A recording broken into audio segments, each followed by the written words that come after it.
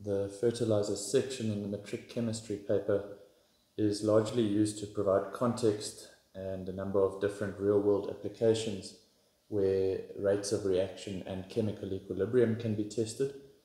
But there are a number of theoretical items that need to be understood for this section. First is that plants require non-mineral nutrients. Those are considered carbon, hydrogen and oxygen. Those are obtained from the atmosphere, carbon dioxide and water. The mineral nutrients, nitrogen, phosphorus and potassium, are obtained from the soil and then obviously from fertilizers. So for each of these nutrients, it's necessary to know their function. We know that nitrogen promotes leaf growth and also plays a role in the color of the leaf and it also promotes plant size or growth.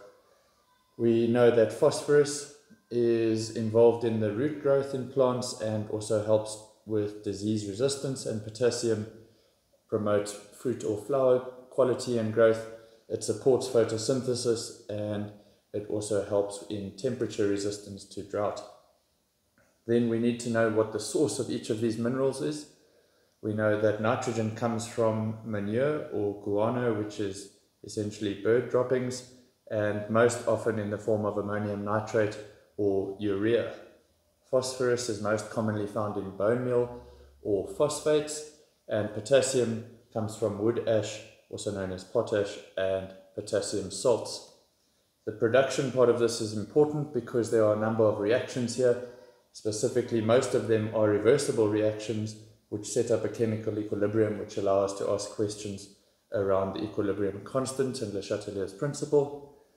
But what's important to understand here is that the Haber process is used in the production of ammonia. The Ostwald process is used in the production of nitric acid and the contact process is used in the production of sulfuric acid. Then if we take those products there and we combine ammonia with nitric acid, we would form ammonium nitrate, which is one of the main sources of nitrogen in plants.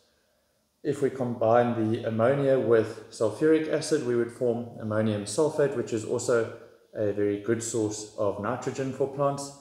And then another source of nitrogen is fractional distillation of liquid air, where essentially you cool the air down until it becomes liquid. And because nitrogen boils at a very low temperature of 169 degrees Celsius, it will boil first and you can therefore separate the nitrogen from the other air elements.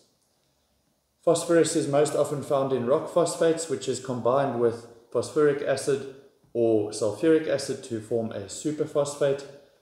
Potassium is most often mined and it comes in the form of potassium chloride, potassium nitrate, or potassium sulfate.